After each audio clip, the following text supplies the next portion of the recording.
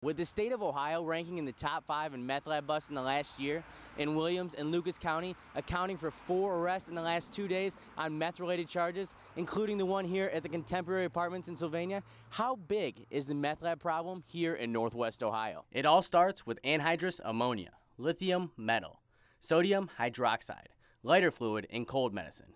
These common household items are used together to create crystal meth and this recipe has become more and more prevalent right here in Northwest Ohio. So I spoke with Williams County Sheriff Stephen Towns about this devastating drug. I mean, it's really been a process over several years. It's it's increased for the last real decade. Sheriff Towns says that in 2014, Williams County alone had around 100 meth-related arrests, which is about a 20% increase from 2013. Then I asked Sheriff Towns about why this is becoming so prevalent here in Northwest Ohio. Substantial amount of users out there.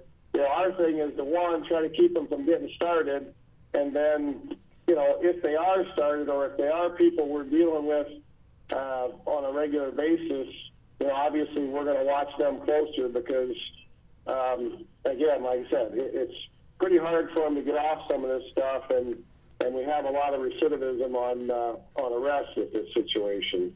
I also asked Sheriff Towns what officers around the area are doing to cut down the consumption of this deadly drug. You know, better officer communication, better uh, better community communication, and, and, the education is, is is what's been the key, I think, because um, none of this, none of the different tools helps that much if you're not you know, sharing some type of intelligence across the board to where everybody kind of knows what's going on. Law enforcement here in Northwest Ohio and throughout the state will have to try harder than ever to combat the recent uprise of this deadly chemical cocktail. I'm Chase Numbers, NBC 24.